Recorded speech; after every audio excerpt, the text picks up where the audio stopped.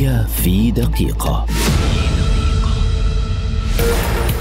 اعتقال عشرة ضباط في الجيش التركي مشتبهين بالتخطيط لمحاولة انقلابية في البلاد وزير الخارجية التركي مولود شوش أوغلو يؤكد أن البيان الصادر عن ضباط متقاعدين برتبة أميرال من القوات البحرية يعتبر مذكرة عسكرية لمحاولة انقلابية.